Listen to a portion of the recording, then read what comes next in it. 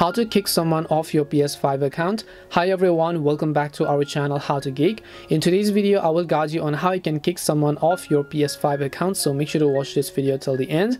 In order to kick someone off your PS5, which means your PlayStation account, just open any browser that you have on your mobile or on your PC or wherever else, and then you simply want to come to playstation.com.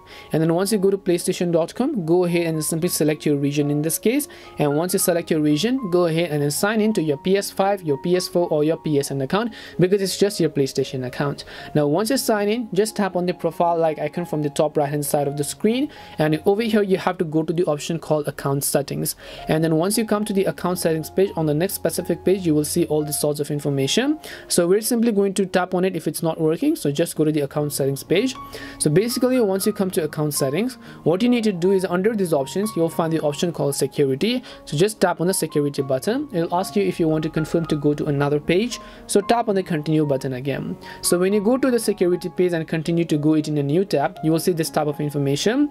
But if you scroll down to the bottom you'll have the option called sign out on all devices. So in order to kick someone off your ps5 account you have to tap on sign out of all devices. And then just tap on the ok button. And as you do that all of your devices on where your playstation account is actually logged in will be signed out automatically including you as well.